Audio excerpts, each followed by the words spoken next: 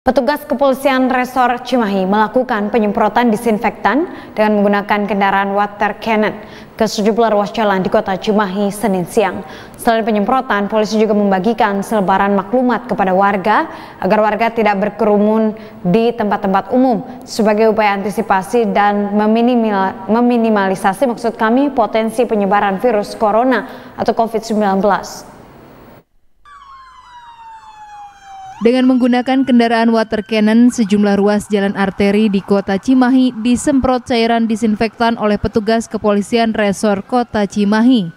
Penyemprotan sebagai langkah antisipasi dari wabah penyebaran virus corona atau COVID-19.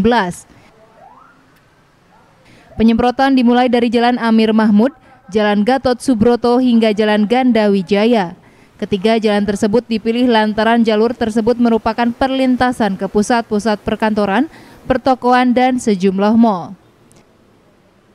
Selain melakukan penyemprotan, petugas pun membagikan selebaran maklumat dari Kapolri berupa imbauan kepada warga. Salah satu poinnya yakni tidak berkerumun di ruang-ruang publik lebih dari 10 orang atau akan dibubarkan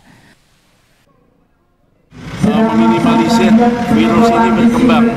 Dan juga selain itu kami dari Polres juga sesuai dengan perintah dari Bapak Kapolri, maklumat Bapak Kapolri akan membubarkan masyarakat yang berkumpul.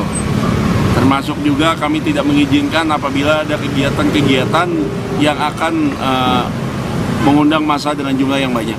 Tapi kalau kita lagi keluar rumah, harus sering-sering cuci tangan, pakai masker, jaga jarak juga minimal. Berarti informasi tentang pencegahan itu sudah paham ya? Soalnya kita lihat dari media sosial, di, TV hampir 24 jam tentang corona.